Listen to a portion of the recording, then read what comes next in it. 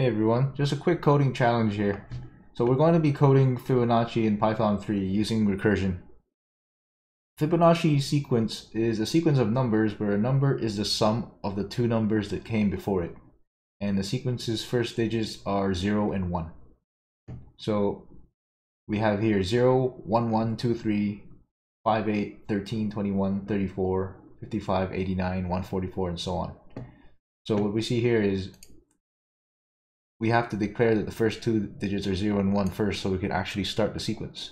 So we have this digit here, which is the sum of 1 plus 0. This is 1 plus 1. This is 1 plus 2. This is 2 plus 3. And then there's 5 plus 8, and so on.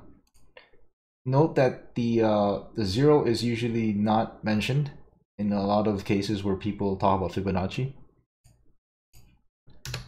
We're going to make a function Fibonacci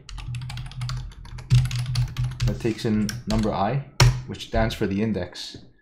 So if it's 0, it'll return to us 0. If it's 1, it'll return to us 1, 2, 3, 4, 5, 6, etc. So we have to take into account that the first two digits are 0 and 1 if the index is 0 and 1. So if i is equal to 0, then you return a 0. Else if i is equal to 1, return a 1 else. The other rule is return the sum of the two digits that came before it, which is simply Fibonacci index minus 2 plus Fibonacci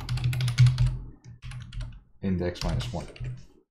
So if the index is 0, 1, 2, 3, 4, 5, then we return i minus 2, which is 2, plus i minus 1, which is 3, 5.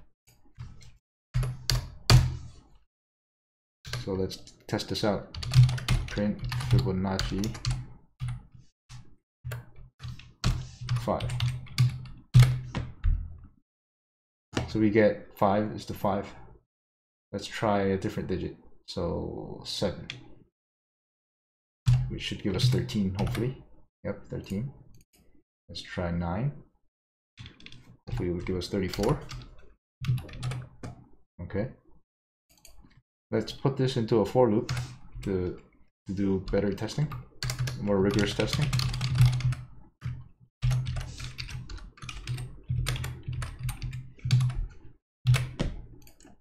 So we see here it's 0, 1, 1, 2, 3, 5, 8, 13, 21, 34. You can add a bit more. Yeah, so looks like it's working. As you can see here, it's very simple to make. And the way that recursion works is simply just calls itself until it hits one of these conditions, which just stops the whole process.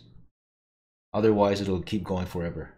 So that's another thing you got to watch out for when you're coding recursions is make sure you have these stopping conditions.